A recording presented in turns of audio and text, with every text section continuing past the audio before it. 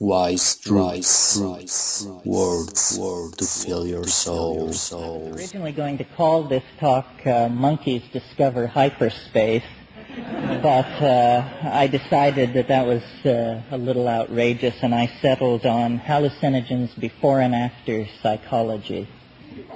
So before I dig into that subject, I'll say a bit about how I come to have an interest in these substances and their very peculiar effects years and years ago, after an LSD trip, I uh, imagined that I perceived a relationship between the LSD experience and the motifs of Tibetan religious art. And accordingly, I went to Nepal and took up residence in a uh, village of Tibetan refugees.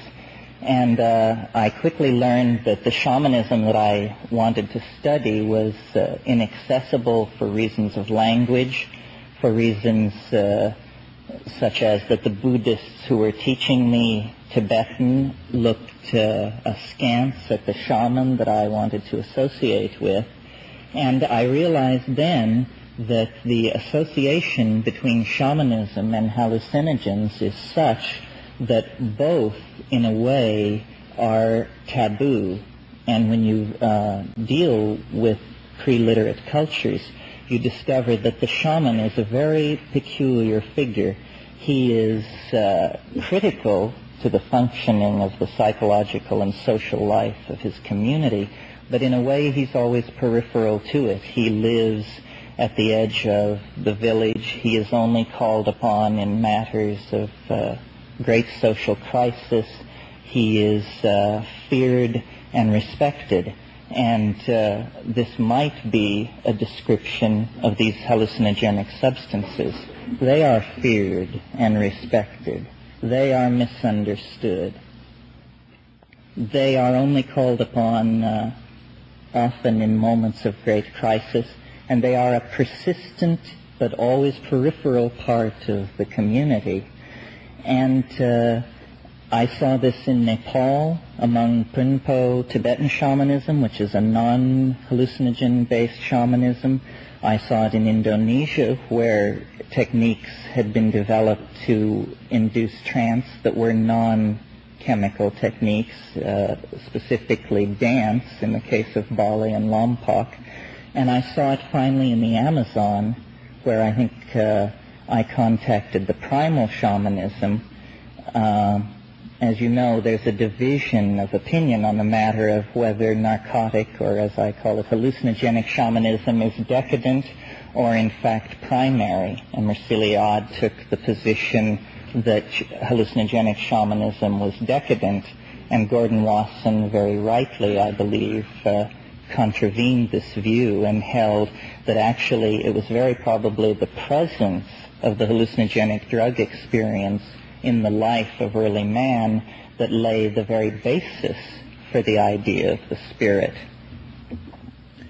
Well, as I made my way through these various cultures and various hallucinogenic substances, it uh, came to my attention that, in my opinion, and I believe in the opinion of Gordon Wasson and uh, other scholars. Henry Munn comes to mind. He wrote a marvelous essay called The Mushrooms of Language, that in the minds of those who associated themselves with the mushroom, there were certain assumptions about psilocybin that were different from the mythos that was arising around some of the other hallucinogens. Um, psilocybin, I think, of the uh, more commonly available hallucinogens is the most visual, and it is certainly visual if it is done in the traditional manner. And uh, I'm always amazed at how little understood or practiced the traditional manner is, so I'll sketch it for you. The traditional manner of taking psilocybin is to take a very healthy, effective dose in the vicinity of 15 milligrams on an empty stomach in total darkness. You've been there. and in that situation, uh, which is in a sense a situation of sensory deprivation, the psilocybin is able to exfoliate itself to the fullest degree and to show you what it is, not against a background of the reality that ordinarily surrounds us, but against a background of darkness, so that the pure essence of the thing can be shown. And it is uh, extraordinarily bizarre, extraordinarily difficult, I believe, to assimilate into your worldview and this is whether you're a Bora youth undergoing initiation or whether you're a college student or a research chemist. These things do not lend themselves well to integration into language. If they did, they wouldn't occupy this peripheral position after 10,000 years of human culture. But above and beyond the visual intensity of psilocybin, the thing that sets it apart, I believe, is a phenomenon that might be described as an induction of audio hallucination. But in fact, to describe it that way is to fall back on a kind of uh, medical re- uh, jargon reductionism. Because what it really is is a voice in the head that is separate from the perceived ego function. In other words, a voice speaks. You hear it, and it seems to be operating independent of the ego. It operates in a psychopompic role as a teacher, as the narrator of the vision which is revealed, much in the same way that Virgil led Dante through the circles of hell. And uh, the modern intellectual equipage is not capable of assimilating this. This is the sort of thing that we associate with psychopathology. We can hardly imagine anything more alien to modern consciousness than a disembodied voice in the head.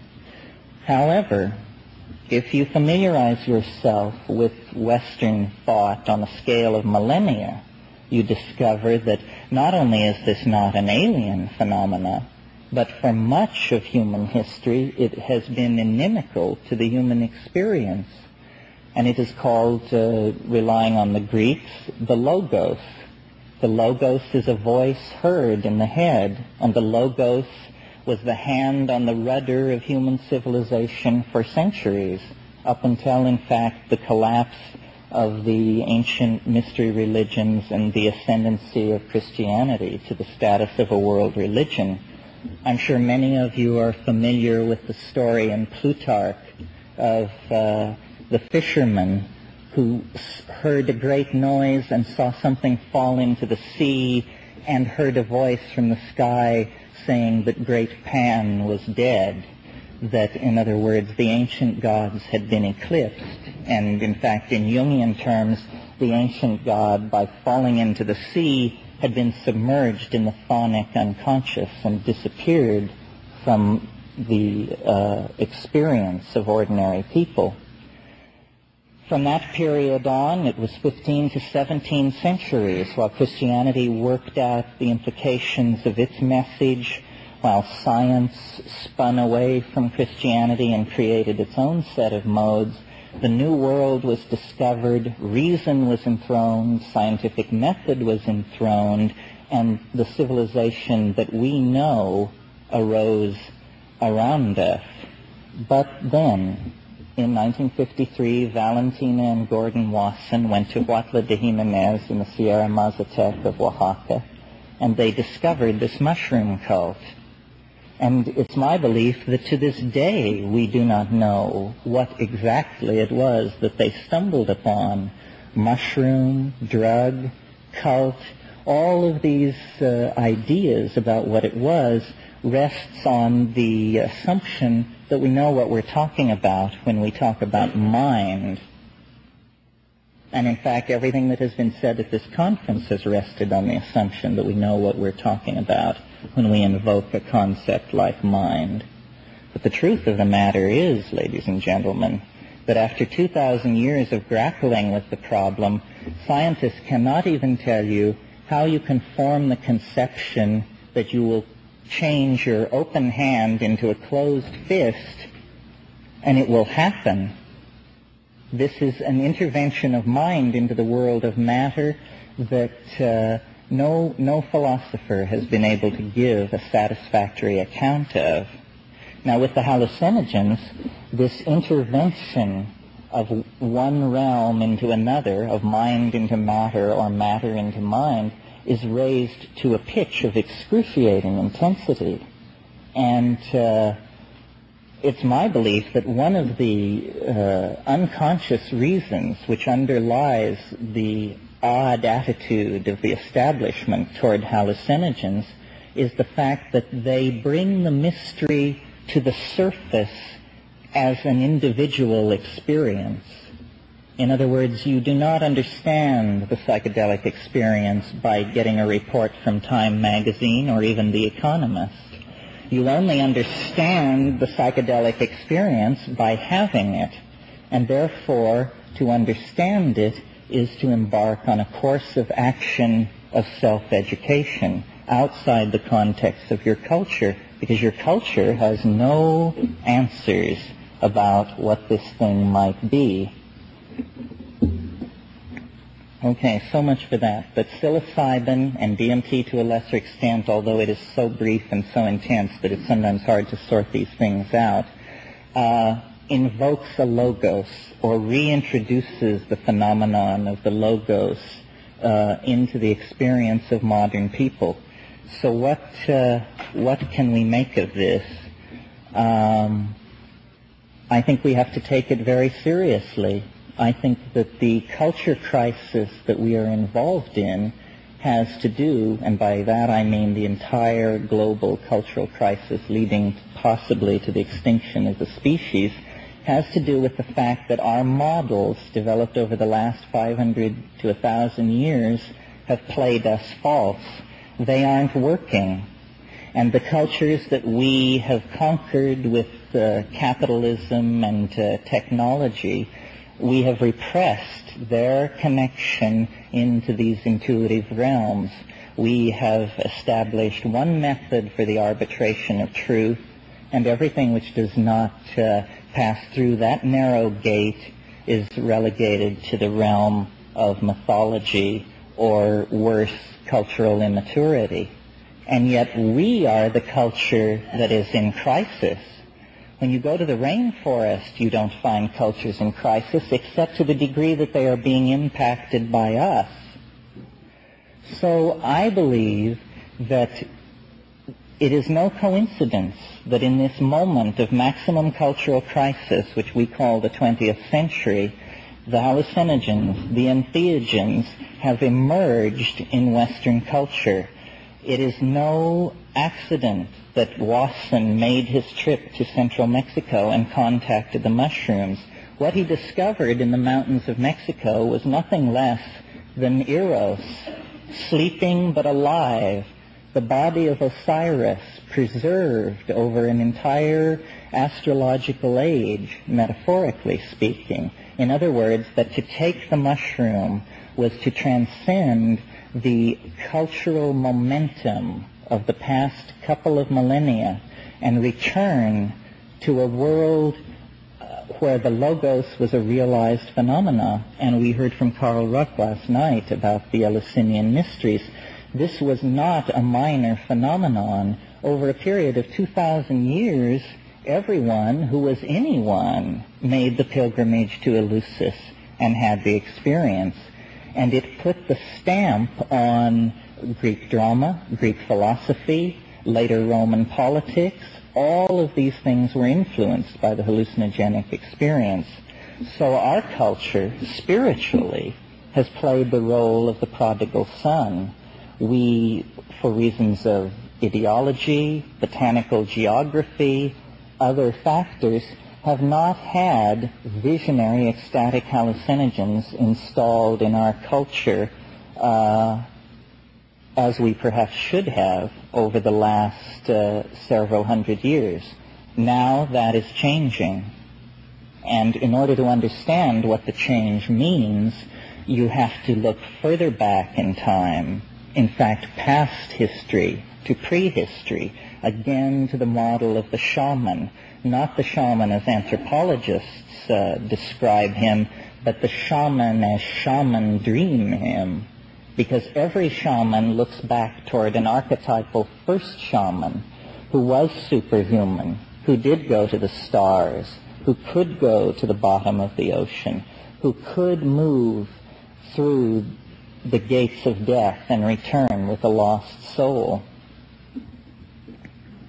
Now, it seems to me when you pull back to uh, the perspective of several thousand years, all of history can be seen as an adumbration on this wish, expectation, hope for a superhuman condition, for a transcending of the laws of gravity, of the laws of life and death, into a superhuman condition that was salutary for mankind as a whole. In other words, the shaman as the archetypal perfected man.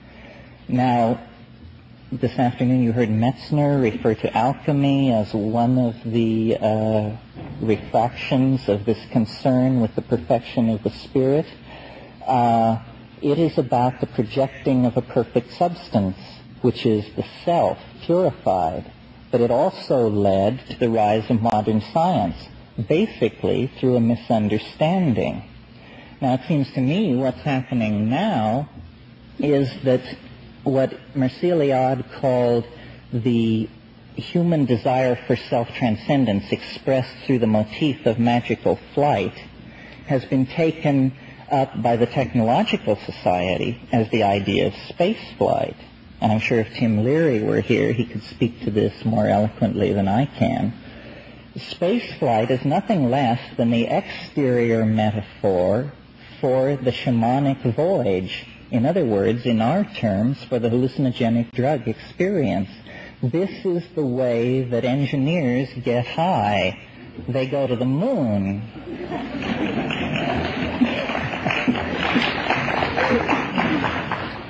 what we need to do to transcend our cultural schizophrenia and to heal the rift between spirit and soul or world and self is to realize something which we all pay lip service to, at least I'm sure all the people in this room pay lip service to, which is the idea that the inside and the outside are really the same thing. But I don't think the cultural implications of that have been uh, clearly drawn.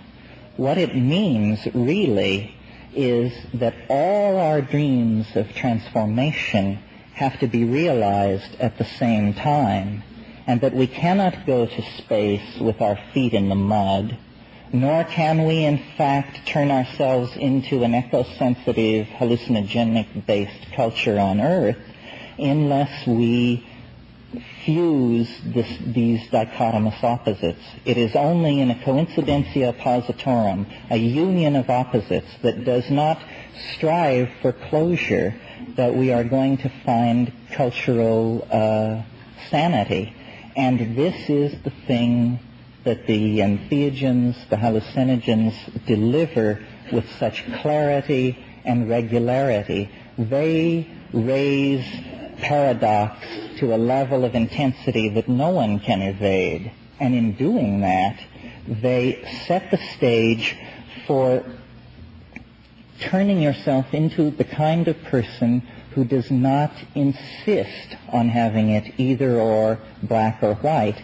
And a culture composed of those kinds of people will be a culture more civilized than any that we have seen so far if I can paraphrase Teilhard de Chardin for a moment, he said, uh, or I will paraphrase him this way, when the human race understands the potential of the hallucinogenic drug experience, it will have discovered fire for the second time.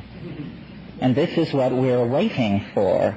We are waiting for the discovery of fire so that we can transcend the monkey business and get on with the great business of inhabiting our own imaginations.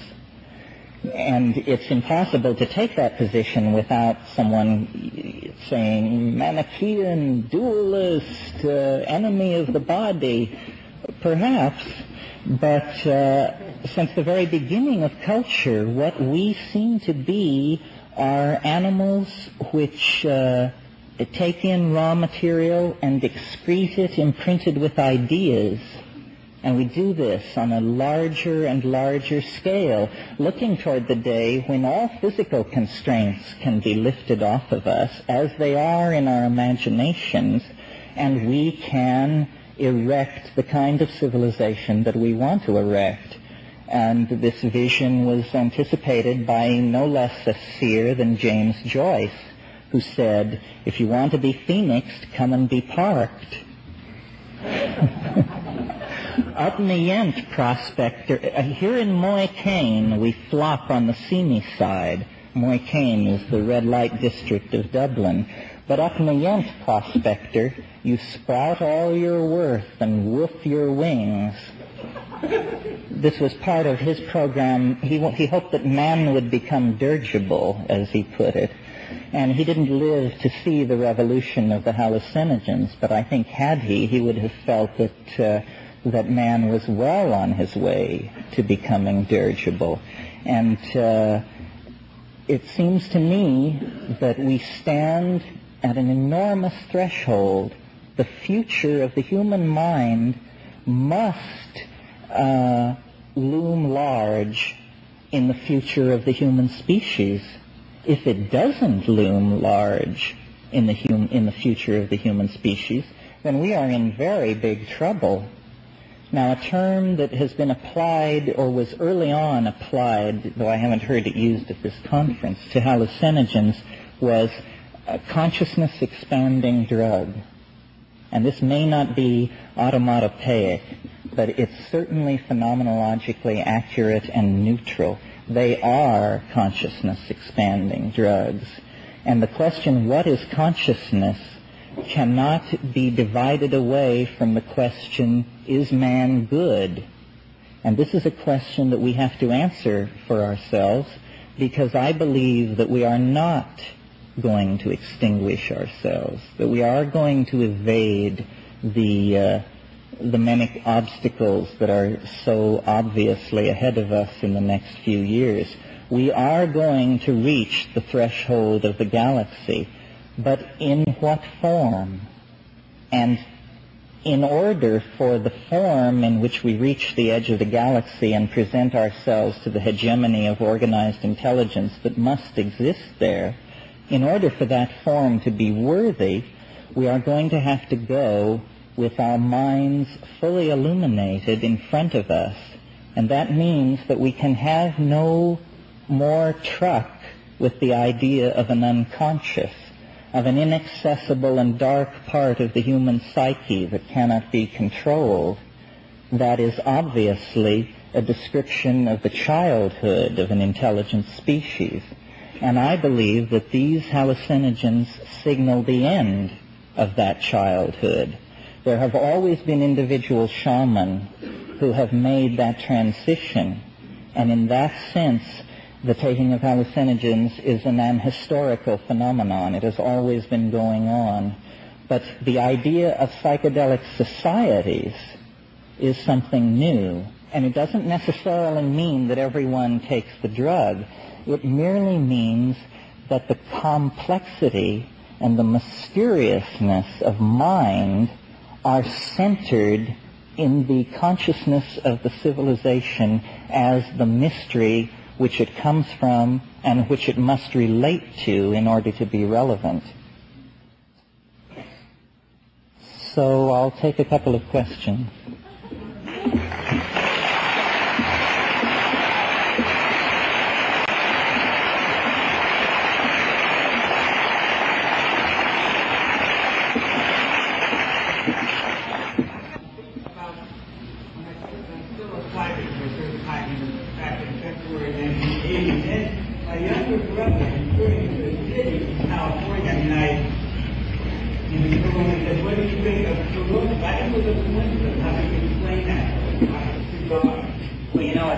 Coincidence is what you have left over when you apply a bad theory.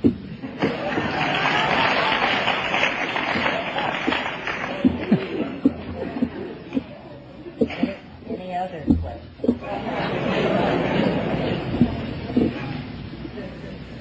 recommendations about how we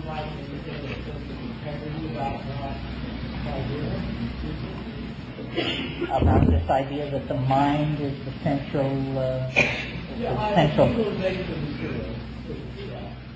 Well, I guess uh, the question is if there any advice vis-a-vis utilization of materials that would uh, allow you to hang on to whatever perceptions I may have uh, triggered in you.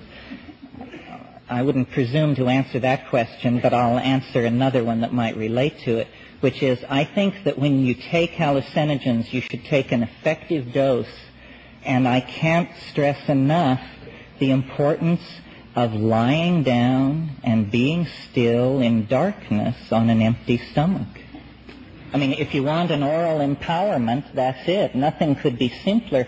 And yet you would be amazed at the number of people who, when you mention psilocybin, the first question that occurs to them is, will I be able to drive?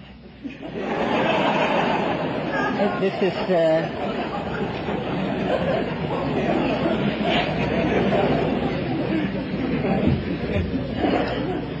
One more. Yeah. Which way would you categorize MDA? In with regard to what?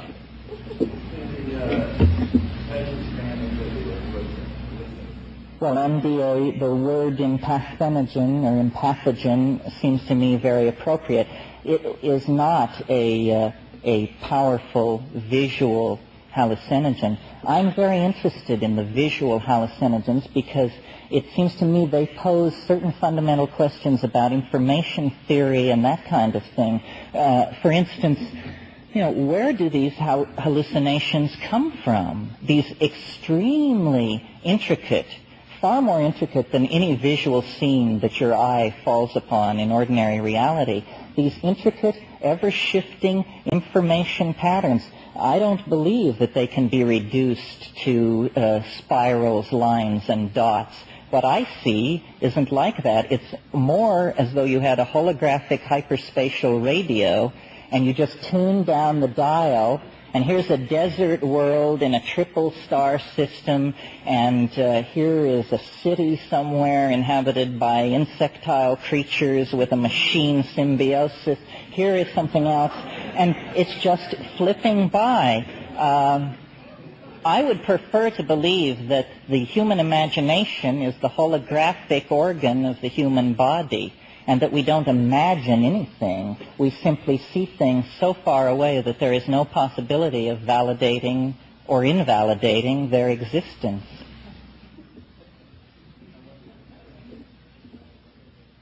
One more.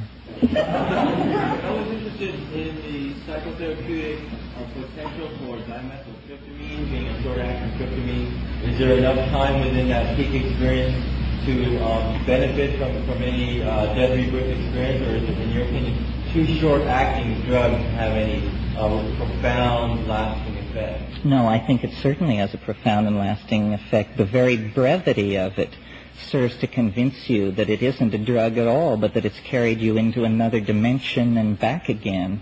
And that alone is uh, something to ponder. Well, I thank you for your attention.